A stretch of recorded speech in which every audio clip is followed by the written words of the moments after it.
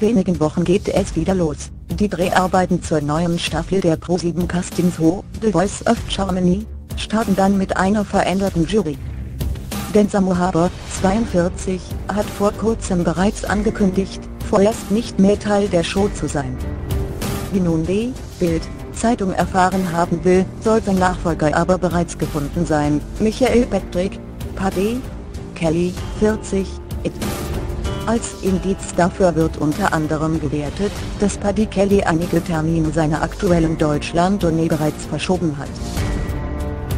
Angeblich hätten seine Konzerte ansonsten terminlich mit den Dreharbeiten kollidiert. Der Sender wollte sich bislang zu den Spekulationen noch nicht äußern. Ein Sprecher teilte mit, dass die komplette Jurybesetzung aber bereits am Donnerstag bekannt gegeben wird. Zuletzt nahmen neben dem scheidenden Habers Mudo, 50, und Michi Beck, 50, von den Fantastischen Vier sowie Yvonne Katterfeld, 38, und Matt Forster, 34, auf den Jurorenstühlen Platz.